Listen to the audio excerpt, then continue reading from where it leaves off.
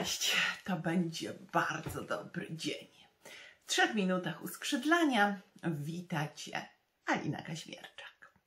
Dziś kilka słów na temat akceptacji. W życiu spotykają nam, nas różne sytuacje, które powodują nasz ból, nasze cierpienie.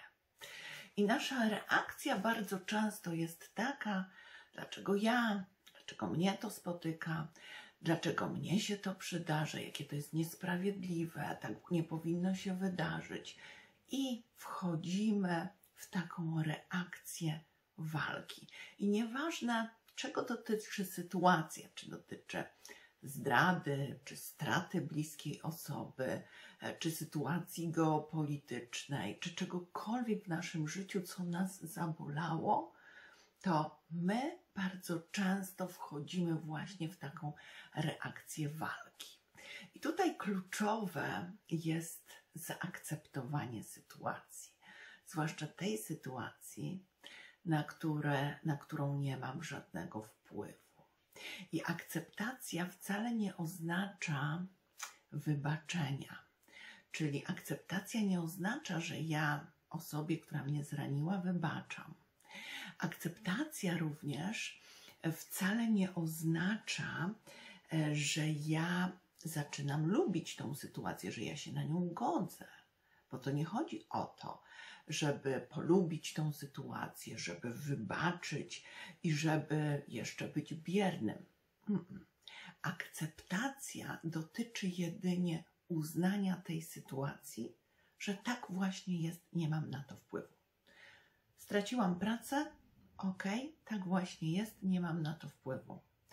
Jest pandemia, ok, tak wygląda ta sytuacja, nie mam na to wpływu.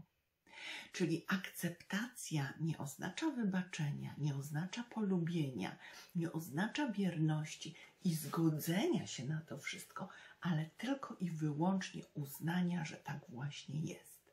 I co nam daje to uznanie?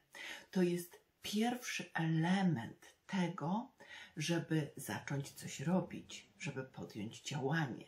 Jednocześnie, żeby dać sobie prawo do mniejszego cierpienia, do złagodzenia tego cierpienia.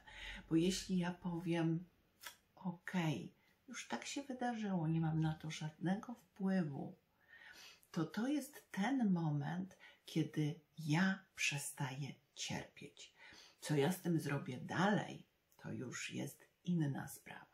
Ktoś powie, no tak, ale jak ja mam zaakceptować to, że ktoś mnie tak bardzo zranił? Albo jak ja mam zaakceptować to, że ktoś mnie zdradził?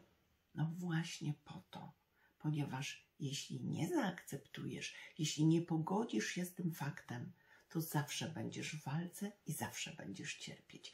A jeśli zaakceptujesz, uznasz, ok, tak się wydarzyło, ja się z tym nie zgadzam, ale przyznaję, że tak się wydarzyło. To to jest pierwszy stopień do uleczenia siebie. Życzę Wam dużej akceptacji, mniej walki i wszystkiego najlepszego. Miłego dnia.